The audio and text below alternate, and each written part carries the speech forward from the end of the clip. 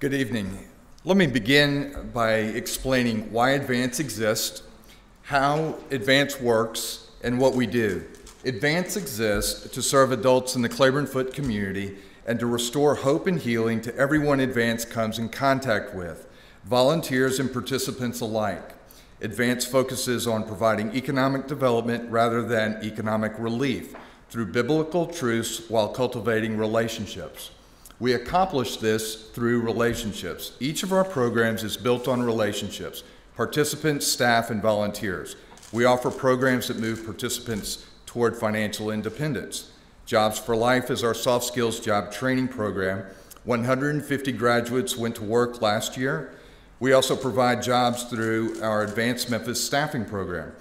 Our graduates brought almost $1 million in earned income home to 38126. We provide GED prep. Year to date, 20 have attained their GED. We provide personal financial training, match savings accounts, counseling, in short, a pathway of programs leading to financial independence. So this year's Give 365 theme is Home is Where the Heart Is. Advance has been in the Cleaborn Foote neighborhood for 14 years and in our current building for seven. Our vision is to create an outdoor patio on the northwest corner of our building. Our Jobs for Life graduates will be paid to build the patio. Staff and volunteers will work alongside graduates.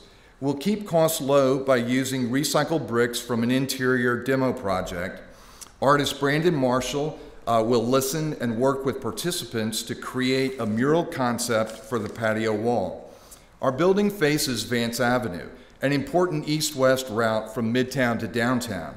So both the patio and the mural will be very visible to the community as well as those driving through or riding their bike to and from the farmer's market or the FedEx Forum.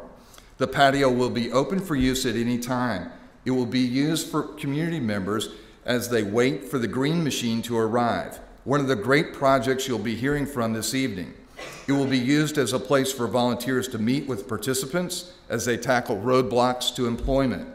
In a neighborhood lacking physical beauty, in a, in a neighborhood where things of value are fenced in and locked up, this will be open, open to all. It will be a place to build and enjoy community.